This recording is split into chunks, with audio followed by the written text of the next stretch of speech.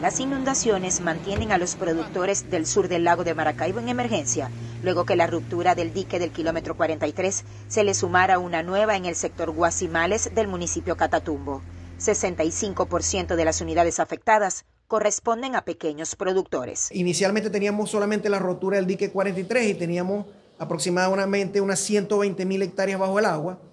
Con la rotura del dique de Catatumbo de Guasimales, que ocurrió la semana pasada, eh, tenemos aproximadamente 35 mil hectáreas más bajo el agua como consecuencia de esa inundación del Catatumbo.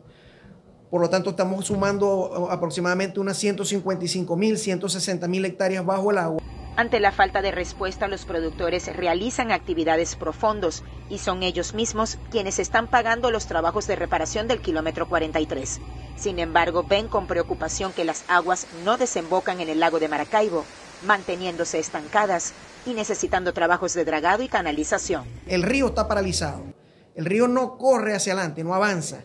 Lo que está es subiendo su nivel, porque prácticamente está como represado y le sigue entrando agua presenciamos nosotros con nuestros propios ojos que este, en las poblaciones de Santa Bárbara y de San Carlos de Zulia tuvieron que tapar los drenajes, al igual que en encontrados, para que el agua no se les meta de los ríos hacia la ciudad.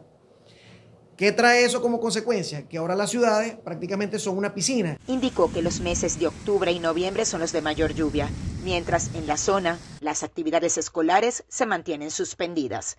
Desde el estado Zulia para EBTV Noticias, Madeline Palmar.